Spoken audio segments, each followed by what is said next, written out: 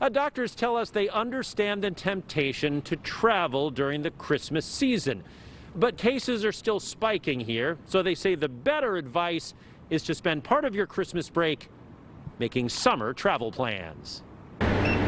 And after Thanksgiving travel led to a spike in COVID cases, most people told us No, no holiday travel plans. They see the enticing online deals to take a trip, I went up to Reno and the casinos are still going. You have to wear the mask and they take your temperature at the front desk. but are wary of traveling now. Not until I got a vaccine.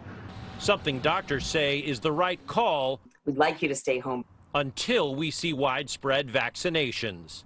I actually am very convinced about the summer um, because of two effective vaccines. One going to be authorized tomorrow. There's going to be competition. They're going to get them out there. I was just talking to someone about making plans for the summer of next year. I think by that time things should be to some sort of normalcy. Normalcy, including a chance to travel safely. In San Francisco, Scott Budman, NBC, Bay Area News.